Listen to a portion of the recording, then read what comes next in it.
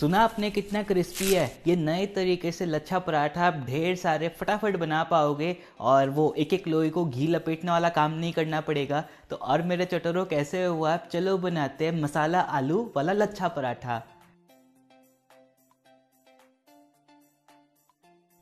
Dough बनाने के लिए सेम क्वांटिटी यूज़ करें। दोस्तों, मैंने ये एक कप गेहूँ का आटा लिया है और एक कप ही मैदा। मैदा से क्या है? लचक आएगी और अपने जो लच्छे होते हैं ना पराठे में, वो टूटेंगे नहीं। तो डो में मैंने ये नमक भी डाल दिया, एक चम्मच और चीनी एक चम्मच है। अब बस पानी डालकर इसका डो बनाना, या आटा गूँथना है और इसका मीडियम आटा लगाइए दोस्तों, ना नरम होना चाहिए, ना हार्ड नरम रहेगा तो लेयर्स जो लच्छे हैं ना, वो आपस में चिपक जाएँगे और अगर हार्ड रहेगी तो प्रॉब्लम वैसे ही रहेगी। तो मैंने ये नॉर्मल आटा लगा लिया है पूरा। इसमें अब हम लोग एक चम्मच घी डाल देंगे और घी की अच्छी तरह मसाज करनी है आटे में। ज़्यादा नहीं, एक डेढ़ मिनट काफ़ी रहेगी। ऐसे करने से पूरी लचक आ जाती है डो में। एकदम स्मूथ हो गया है ना।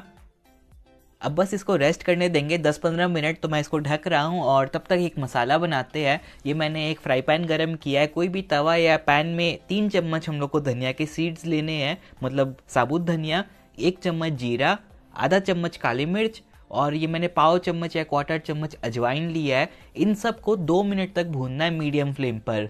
ये जो मसाला हम लोग बना रहे हैं ना, ये हम लोग को दो काम आएगा और इसी से ही वो ढाबा वाला टेस्ट आता है। तो एकदम लाइट रोस्टिंग करनी है, कुछ ज़्यादा नहीं भूनना है इसको। अभी एकदम परफेक्ट दिख रहा है तो मैं गैस को बंद कर रहा हूँ और ये मसालों को कम से कम पाँच मिनट ठंडा करिएगा और फिर इसको दर दरा कूटना है। तो बेलन से भी बेल सकते हैं या फिर ऐसे आप मोटर एंड पेसल में भी कर सकते हो। पाउडर नहीं बनाना एकदम दरदरा चाहिए, आप देख सकते हो परफेक्ट लग रहा है। तो अब आलू की फिलिंग बनाते हैं। उसके लिए बोल में ये मैंने उबले हुए आलू लिए हैं छः पीस मीडियम साइज़ के, उबाल कर छील कर ले लिया हूँ। अब बस हम लोग जो मसाला बनाए थे ना, वो आधा इसमें डाल देंगे। बाकी का आधा अपना भुना मसाला आगे काम आएगा। तो ये मसाला डालने के बाद मैं इसमें आधा प्याज डाल रहा हूँ, बारीक काटा हुआ। दो हरी मिर्च, एक इंच अदरक और ये दो बड़े चम्मच जितना हरा धनिया है, इसमें मैं दो से तीन पालक के पत्ते भी काट कर डाला हूँ। ये आप डालेंगे तो और मज़ा आएगा। नेक्स्ट इसमें फ्लेवर डालने के लिए, खट्टापन के लिए मैंने डेढ़ चम्मच अमचूर लिया है one and half teaspoon एक चम्मच नमक और एक चम्मच ही अनारदाना। बस इतना ही है। अब बस इन सभी को अच्छी तरह मिलाना है और आलू को भी पूरा क्रश कर लेंगे। तो आलू और मसाला को मैंने अच्छी तरह मैश कर लिया है और अभी आप देख सकते हो, ये अपने आप से ही अपने आप रह रहा है। मतलब इसका डो जैसा बन चुका है। अगर इसमें बाइंडिंग कम है तो एक चम्मच इसमें गेहूँ का आटा भी मिला सकते हैं। मेरे लिए तो भाई फिलिंग रेडी है। अब लच्छा कर लेते हैं डो के। मतलब जो 20 मिनट हो गई है ना तो डो के लोई बना लेंगे पहले। तो अभी ये डो के मैं दो हिस्से कर रहा हूँ। मतलब दो बड़ी बड़ी लोई बनाएँगे इसकी, ताकि हम लोग ईजिली इसमें काम कर पाए। लोई बनाने के बाद एक मैं ले रहा हूँ और इसमें सूखा आटा डालकर इसको बेलना स्टार्ट करना है।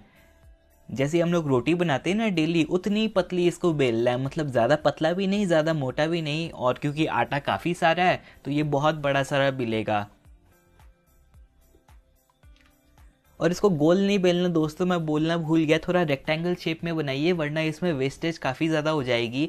तो ऐसे रेक्टेंगल शेप में मैंने बना लिया और ये साइज़ एकदम सही है। अब इसमें घी लगाना है। दोस्तों, पराठा की लेयर्स को खोलने के लिए सेचूरेटेड फैट या जो जमने वाला फैट होता है ना, वो बेस्ट रहता है। तो यहाँ पर मैंने घी इस्तेमाल किया एक चम्मच। सिर्फ़ एक चम्मच घी लगेगा, इसको अच्छी तरह पराठे में फैला देंगे मतलब ये आटे में। तो मैं ब्रश से इसको स्प्रेड कर रहा हूँ। एक इवन लेयर चाहिए हम लोग को।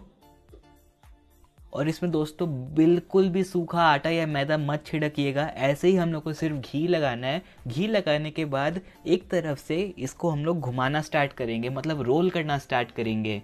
बिल्कुल ऐसे। जैसे हम लोग बाखरवाड़ी के लिए या खांडवी के लिए रोल करते हैं ना, वैसे ही मैंने इसको पूरा रोल कर लिया। और अभी आप देख सकते हो इसमें लेयर्स मस्त लग रही है ना। इसको थोड़ा टाइट करना है तो मैं ऐसे और इसको ऐसे घुमा लेता हूँ। और जो साइड्स है, उसको थोड़ा अंदर सेंड करेंगे कोने से, ऐसे प्रेस कर करके, ताकि इसमें वेस्टेज ना हो। बस ऐसे ही मैंने दूसरी वाली भी रेडी कर ली है, आप देख सकते हो। अभी ये दोनों हम लोग की लच्छा रोल है। लोई बनानी है हम लोग को तो लोई, वैसे ये जो रेसिपी है ना, इससे आठ मीडियम साइज़ के पराठे बन जाते हैं। तो लोई हम लोग चाकू से काटेंगे। हम लोग को आठ नहीं, सोलह पीस काटनी है। तो शुरू की मैंने थोड़ी सी हटा दी और मैं ये मीडियम साइज़ के कट कर रहा हूँ। एक पराठा के लिए हम लोग को दो लोई लगेगी ऐसी। तभी तो डबल लेयर्स बनेंगे डबल अच्छा पराठा बनेगा।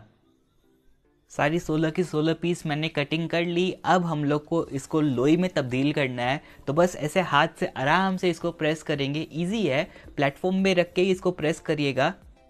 अगर आप एकदम ध्यान से देखो तो मैं लेयर्स को थोड़ा स्प्रेड भी कर रहा हूँ ताकि पूरे पराठे में ना लच्छा वाले लेयर्स मिले। बस बिल्कुल ऐसे ही सबको हम लोग प्रेस कर लेंगे और फिर जैसे मैंने बताया था ना, एक पराठे में दो लोई लगेगी तो इनकी जोड़ी फाइंड करनी है। सेम साइज़ की दो पीस लोई को ऐसे आप रख लीजिएगा और अभी इनमें टेंशन बहुत ज़्यादा है यार। तो इनको कम से कम पाँच मिनट तक ढक कर स्ट्रेस फ्री होने देना है। तो ढक कर आराम करने दीजिए पाँच मिनट, फिर आप कभी भी इसके पराठे बना सकते हो। पराठा बनाने के लिए एक लोई को अब हम लोग बेलना स्टार्ट करते हैं। बस एक पीस लिया हूँ दोस्तों, और इसको पूरी के साइज़ का बेलना है।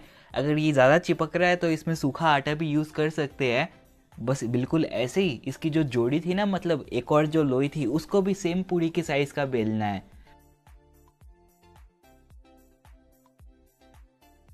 दोनों रेडी करके एक जो पूड़ी है ना, उसके ऊपर मसाला रखेंगे। तो अपना जो आलू मसाला था, उसकी बड़ी सारी चम्मच इसमें रख के फैलाना है। मतलब अच्छी तरह स्प्रेड करना है। कोने में थोड़ा सा गैप रखिएगा, वरना सीलिंग में प्रॉब्लम आएगी और फिर ये जो मसाला है ना, इसके ऊपर थोड़ा सा सूखा आटा छिड़केंगे। ज़्यादा नहीं थोड़ा सा ही छिड़कना है और फिर दूसरी जो पूड़ी थी ना उससे इसको ढक के अच्छी तरह सील करना है। तो बिल्कुल बढ़िया से ऐसे पिंच करिएगा दोस्तों, वरना बहुत प्रॉब्लम आएगी। और ऐसे सील करने के बाद अब ये अपना पराठा बनने के लिए रेडी है। मसाला को साइड में रखते हैं और इसमें थोड़ा सा सूखा आटा छिड़क के हल्के हाथों से इसको बेलना स्टार्ट करना है। वैसे इसमें लच्छा भी था, आलू भी था, बस पराठे की शेप में बेलना बाकी था। अभी आपको दिख रही है ना लेयर्स है ना? तो पराठा ऐसे नॉर्मल साइज़ में बेल के ऊपर हम लोग इसमें हरा धनिया छिड़केंगे और वो जो भुना मसाला था ना, कुटा हुआ, वो भी थोड़ा सा डालना है। एक बार इसमें बेलन चला देंगे और ये अपना पराठा अब सीखने के लिए रेडी है। तो गर्मा गर्म तवे पे ये जाएगा और शुरू में आँच को थोड़ा तेज रखना है। दिख रही है ना लेयर्स नीचे से जब ये सीख जाता है ना, तब इसको पलट के घी लगाना स्टार्ट करेंगे। ये मैंने वैसे कम कम क्वांटिटी लगाया है। पूरे पराठे में लगाने के बाद पलट देते हैं और फिर इस साइड भी घी लगा देंगे। वैसे अगर इसमें आप ज़्यादा ज़्यादा घी लगाओ तो ये पूरा जो पफ होता है ना, वैसे इसकी लेयर्स खिल जाती है। आज हम लोग की तेज है तो इसमें कलर बहुत जल्दी आता है। आप देख सकते हो, गोल्डन कलर आने लग चुका है, लेकिन अभी ये अंदर से कच्चा है तो ये स्टेज में आपको फ्लेम को लो कर देना है और एक मिनट तक दोनों तरफ़ सेकना है पलट पलट के। ऐसे करने से ये अंदर तक भी पूरा पक जाएगा और बाहर की लेयर भी पूरी करारी हो जाती है, मस्त क्रिस्पी लगती है। सिकाई भी अगर आप देखो तो एकदम गोल गोल हुई है ना। चलो अपना ये लच्छा आलू पराठा रेडी है, इसको ऐसे ही मत खाइएगा। पहले निकाल कर इसको थोड़ा एक मिनट रेस्ट करने देंगे और फिर ऐसे पकड़ के क्रश कर देंगे। कैसी लगी आवाज़? अपना ये लच्छा आलू पराठा अब रेडी है खाने के लिए। बाहर से ये एकदम मस्त कड़क रहता है। अंदर से सॉफ्ट मसालेदार, नए तरीके से लच्छा आलू पराठा आप ज़रूर से बना के देखिएगा। नॉर्मली हम लोग अगर एक एक लोई पे घी लगाकर उसकी लेयर्स बनाते तो बहुत टाइम लग जाती है। ये मेथड से तो भाई नॉर्मल पराठा जितना ही टाइम लगता है, ये मेरा दूसरा वाला भी मिल गया। अब चलो इसको सेकते हैं। मस्ट ट्राई रेसिपी है यार, आप देख सकते हो कितना बढ़िया तरीके से ये सीख रहा है। मेरा ये दूसरा वाला भी रेडी है, बहुत टेम्पटिंग लग रहा है है ना?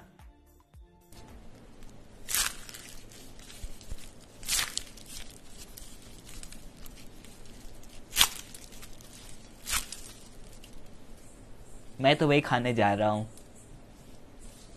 तो कैसी लगी रेसिपी दोस्तों? बढ़िया लगी तो लाइक बटन नहीं लगी तो डिसलाइक बटन लेकिन ट्राई करना ज़रूरी से बनता है और ट्राई कर कर मुझे भी बताना कैसा लगा।